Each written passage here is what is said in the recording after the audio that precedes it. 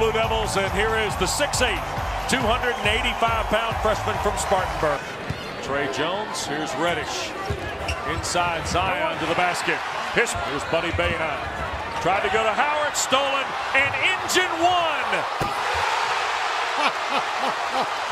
then, of course, once he gets going this way, the question is just how spectacular will it be?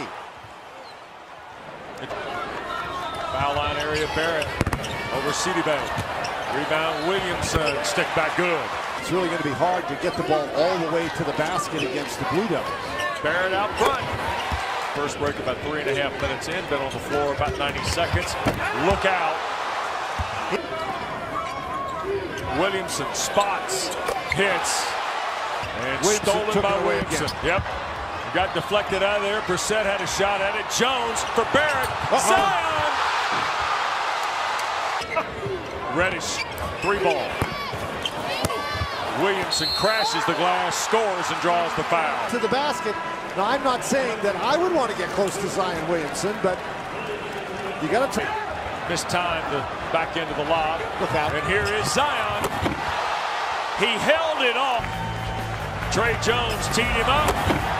Yep, a couple of orange go flying by. White had a shot at it. Williamson collects a deflection and scores on the scoop. Richette had it. Has shown a great deal of toughness in this game. Three points. But both Williamson and Barrett working inside.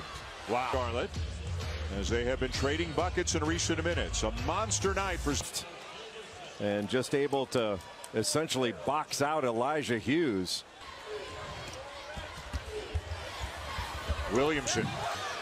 And then the flash right into the middle and get.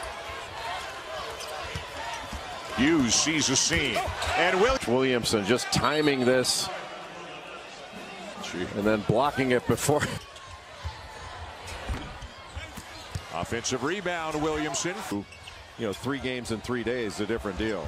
He just threw a home run pass that Goldwire ran down and he Goldwire got look at him. Look at look. He's got magic in that left hand.